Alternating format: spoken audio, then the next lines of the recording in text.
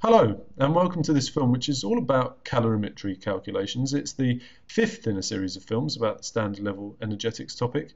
And whereas in the last film we were really looking at how we might carry out experiments to measure heat changes, here we're going to use that formula that we introduced in the last film to calculate heat changes and furthermore to calculate molar enthalpy changes for a reaction.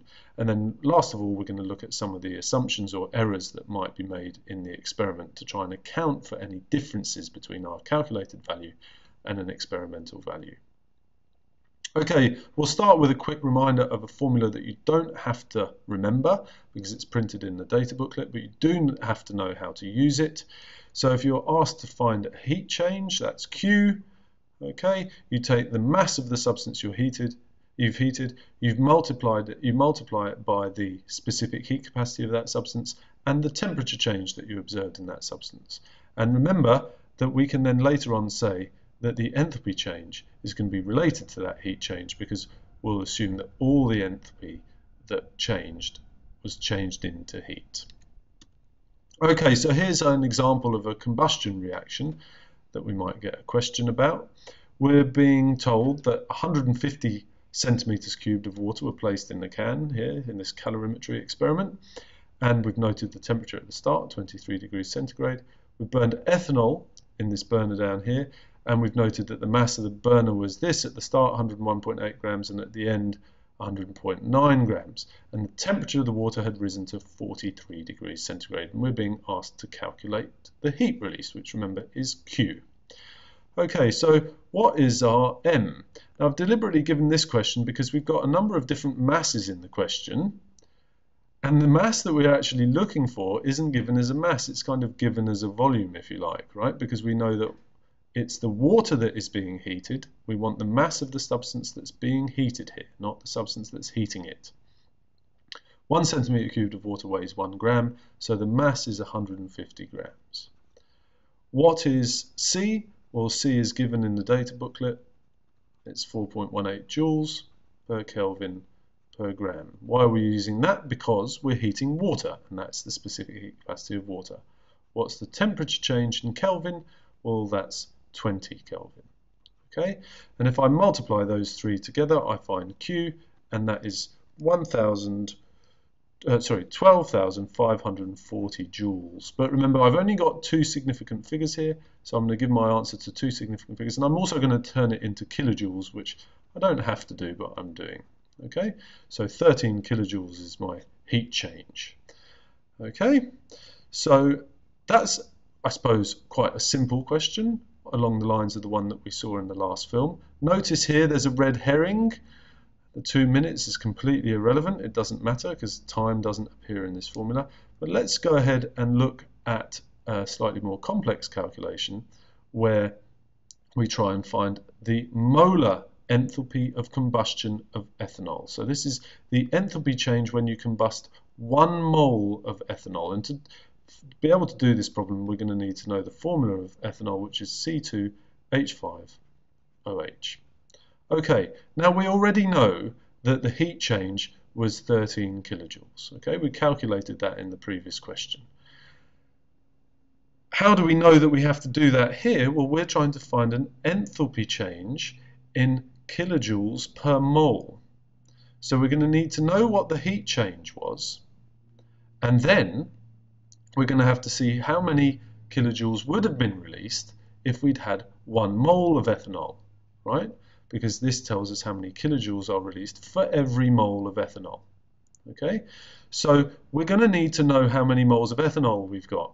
So we're going to need to know the mass of ethanol because remember the number of moles is equal to the mass over the molar mass.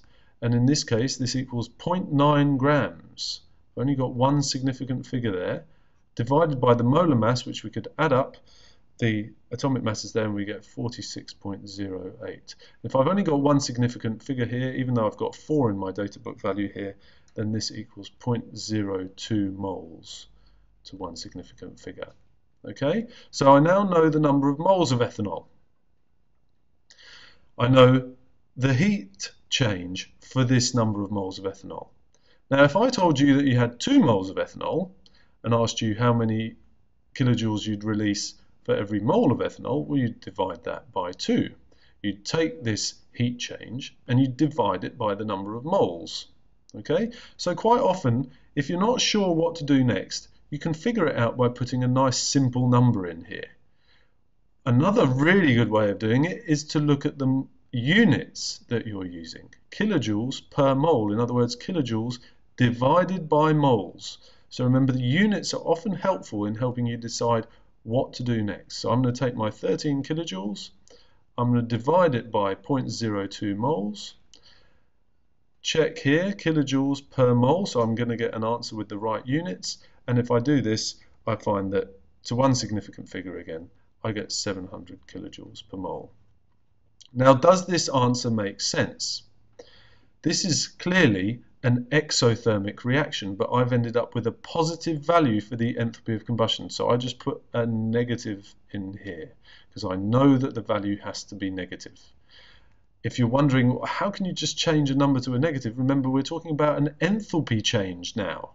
So if the heat rho, if the heat supplied to the water was 700 kilojoules, that means that the enthalpy of the ethanol must have fallen by 700 kilojoules, hence the negative sign there.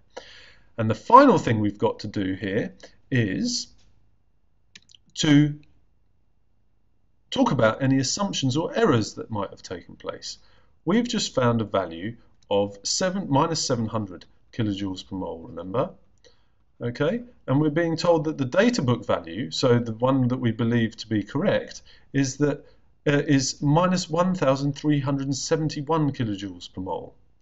Now there's a massive difference between those two, okay? But bear in mind, we've got an extremely inaccurate setup, right? We've assumed that all the heat that is released by the ethanol burning makes it into the water, right? We've assumed that the enthalpy change in the ethanol is the same as the heat change, which is fair enough, um, except that we've given off some light as well, right? So we've, um, but that's going to be a small error. We've assumed that all this enthalpy change is going to turn into a heat change, and all that heat is going to make it into the water, but we're heating the air around it, right? We're heating the can, so the specific heat capacity of the calorimeter is not going to be exactly the same as the water. And this calorimeter is going to be losing heat all the time, right? So there's going to we, we would expect a fairly large difference in these two values because of the fact that there's a large amount of error in this experiment and the assumptions that we've made about all the heat making it to the water simply can't be right. Okay, so what we were trying to do in this film was to try and calculate heat changes using the formula that we'd seen in the last film. Um, we have turned that heat change into a molar enthalpy change by uh, figuring out how many moles of the substance um, were reacted and then figuring out how many kilojoules or joules of heat would have been produced for every mole of that substance. And then we've finally looked at ways in which we might account for differences between our calculated value and the experimental value um, from the data book, that is, um, by talking about the errors in our experiments. If you've got any questions or comments, um, please feel free to come and see me or to post a comment on YouTube.